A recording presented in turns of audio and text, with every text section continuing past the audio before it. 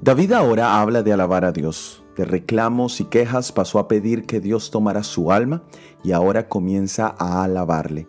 Este ejemplo de oración nos muestra verdaderamente un diálogo muy productivo, es decir, cuando nosotros presentamos a Dios nuestro corazón abierto y expresamos todo lo que sentimos, dentro de ese diálogo vemos la intervención de Dios en nuestras vidas en eventos pasados y somos entonces guiados a alabarle por lo que sabemos que Él hará en nuestras vidas. Esto también es una sombra de la obra del Mesías.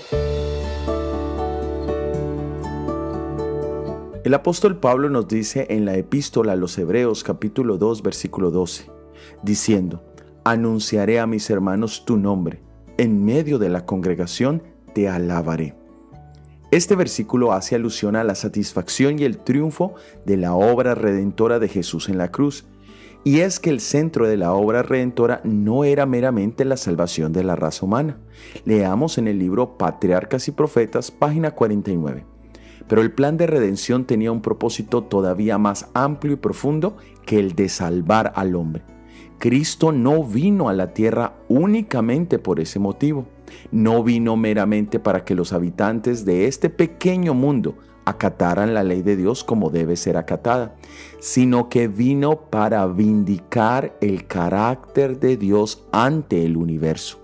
La alabanza de Dios en medio de la congregación va directamente relacionada con el hecho de que el carácter de Dios había sido totalmente vindicado por la obediencia perfecta de Jesús y por su sacrificio. Y por eso nuestro objetivo al ser salvos por Jesús siempre será vindicar el carácter de Dios ante nuestro círculo de influencia, ya sea nuestros cónyuges, nuestra familia, nuestros vecinos, etc. Anuncia el nombre de Dios en este día, donde quiera que vayas. Soy Óscar Oviedo y este es el devocional Jesús en 365 días.